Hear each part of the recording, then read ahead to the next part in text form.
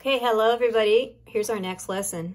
We're going to review Beauty and the Beast, and we're going to take a piece of this Beauty and the Beast phrase and explore it with a finger exercise by Hanon, and it's the Hanon number eight.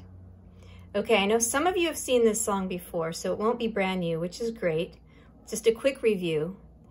And your left hand is over your five finger G scale. Right hand can continue up the scale for placement. Okay, so you're all the way over G major. Do, re, mi, fa, sol, la, ti, do. All right, and now I'm going to call out letters as we go. B, D, F sharp, tuck thumb to G, C pointer left. B, D, F sharp, G pointer come up to A. Now we're going to go up an octave scale here, scale in the higher position, right? That's still G position. Two, three, four. Feel those whole notes. One, two, three, four. B, D, pointer back, thumb tuck, and left, two, three, four. A, two, three, four. Different here. B, A, B, pinky D. Thumb is G, two, three, four. G cross back, thumb, and three, and pointer left, two, three, four. B, C, A, B, and we're, we're home here to the G of the G scale. And that would be, if, if the song was a house, that would be the floor. Okay? All right, give that a try. Look at the chart, and I'm sure you'll be able to find your way through that. And now, looking at the Hanon number eight, I'm going to go very slowly, and we're just going to explore the right hand first. Get your hand in position ready, same as Hanon number one. Okay? So it's one with a two stretch forward to the E. All right. And now watch how I do this. I'm going to go up in thirds. Here's a third and here's a third.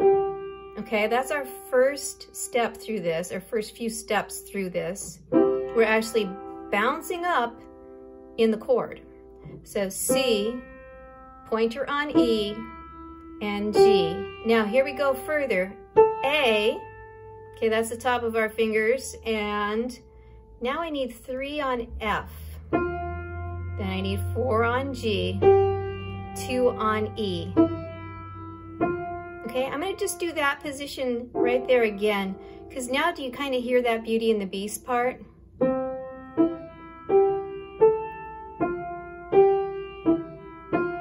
Okay, so it's kind of beauty and the, right? Get that?